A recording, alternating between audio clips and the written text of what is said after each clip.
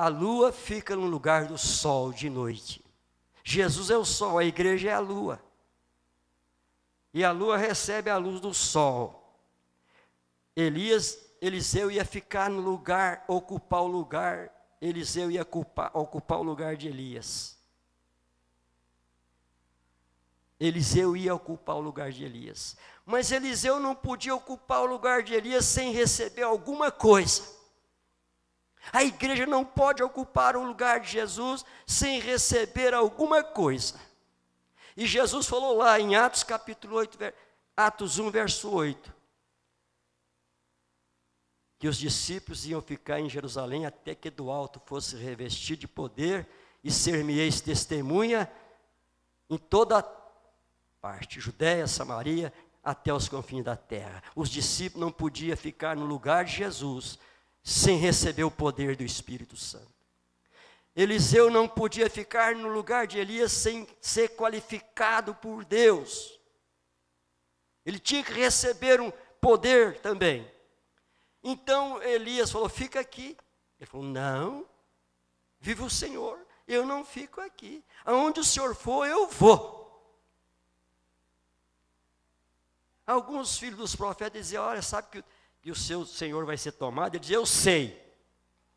E você vai ficar sozinho aí, viu, Eliseu? Você vai ficar aí sozinho, porque ele vai ser tomado, você vai ficar aí arrasado, acabou tudo.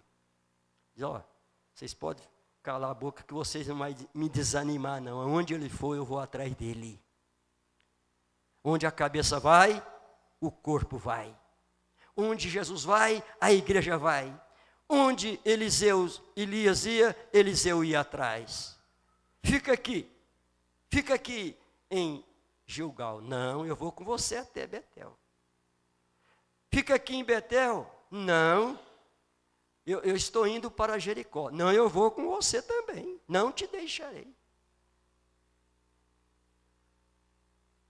Aleluia. Assim é a igreja e Jesus Cristo.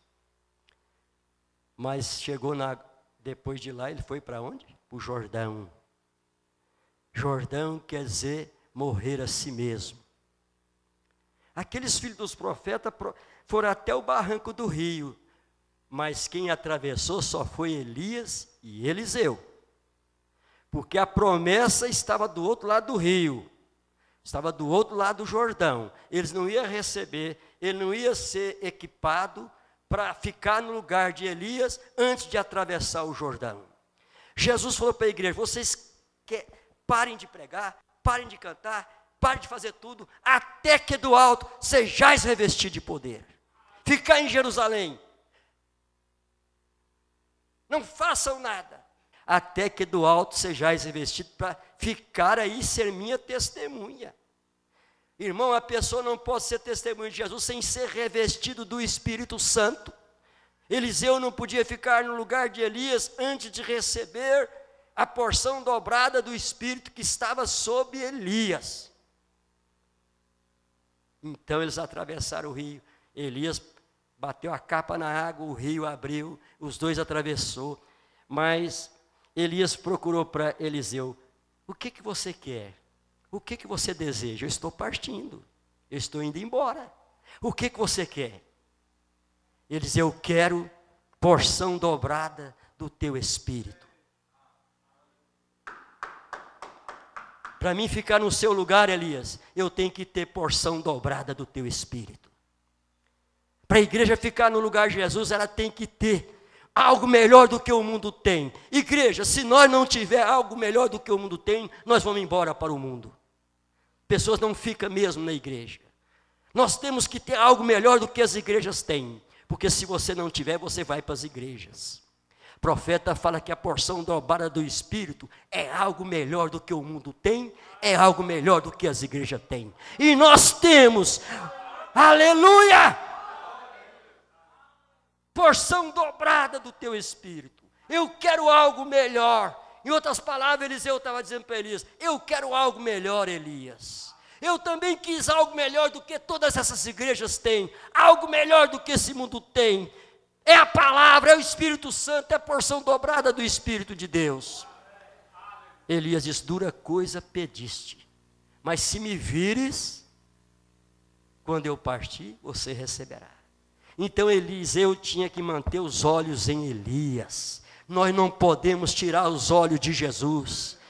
Não, nós não podemos tirar os olhos de Jesus. Nós temos que atravessar o Jordão junto com Elias. Nós temos que morrer para nós mesmos, morrer para este mundo, queimar as pontes, como Eliseu queimou tudo que ficou para trás, senão ele voltava. Joga aquela garrafa fora de pinga, joga aquele maço de cigarro fora, joga tudo fora, não guarda aquilo não. Você tem que queimar tudo como Eliseu queimou, porque senão você volta a fumar, volta a beber, volta pega aquele vestido imoral seu, queime ele, jogue fora. Eliseu queimou tudo que ficou para trás. O profeta disse: se você deixar alguma coisa para trás, é uma ponte, você volta de novo. Queime tudo, faça como Eliseu. Aleluia. Morra para si mesmo, atravesse o Jordão. E foi do outro lado que ele recebeu a porção dobrada do espírito de Elias. Irmão, sabe que Elias já tinha julgado a capa sobre ele? Quando jogou a capa, ele veio, foi chamado, mas chegou a hora que a capa de Elias caiu para Eliseu. Aleluia, nós temos que ter este poder que estava sobre Jesus Cristo. Como estava sobre Elias, veio para Eliseu. Eliseu pegou a capa de Elias e bateu no Jordão e procurou: onde está o Deus de Elias? E o rio abriu de novo. Elias fez quatro milagres, o profeta. Eliseu fez o dobro. Jesus diz: aquele que crê em mim fará as mesmas obras que eu faço, e fará obras maiores ainda. Irmão, nós temos que crer nisto. Não, nós somos filhos de Deus.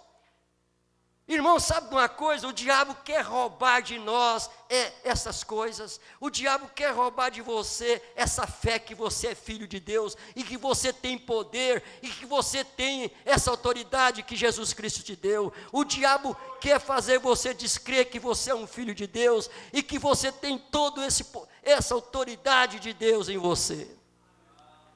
Porque o profeta diz assim: quando a igreja reconheceu o que ela é,